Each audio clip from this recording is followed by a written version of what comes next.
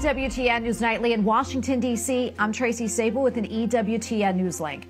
President Biden and former President Trump have clinched their party's nominations for the 2024 election. This after both reach the number of delegates required following yesterday's primaries. We'll have much more on this tonight. Russian President Vladimir Putin says his country is ready to use nuclear weapons if there is a threat to statehood, sovereignty, or independence. This comes ahead of a nationwide vote this week. Putin is expected to win another term. Pope Francis says that the human being is made for goodness. During his weekly talk at the Vatican, the Holy Father said that we should be aware of our inner desire for what is good. Today also marks the 11th anniversary of the elevation of Pope Francis to the papacy. I'm Tracy Sabol with EWTN News Nightly. Be sure to join us this evening on EWTN.